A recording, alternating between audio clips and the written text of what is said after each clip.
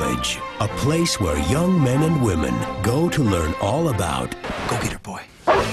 young men and women.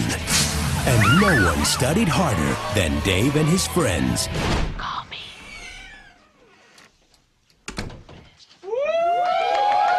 Smile!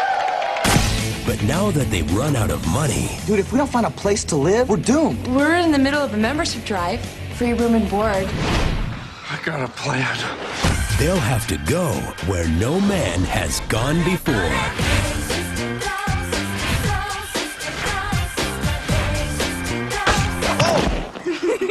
Well, why are you wearing heels? Heels are out, man. Dude, they make my legs look slimmer. Now, they're experiencing a whole new world. It's your turn to clean the bathroom. It's like a Wookiee, man. Mm. And seeing the opposite sex from a whole new perspective.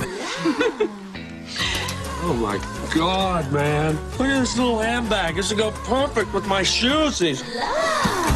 This spring break, Coming through. if you're going to act like a lady, We don't have to be babes. Just believable. It's easy for you to say you're pretty. Thanks. You know, I just kind of throw it together and, you know. Feel like a woman, Please be a size A. Please be a size A. Oh, yeah! and fight Hey, doll girl! It's payback time. like a girl. You better learn to take it Okay, girls, let's see what you're made of. like a man.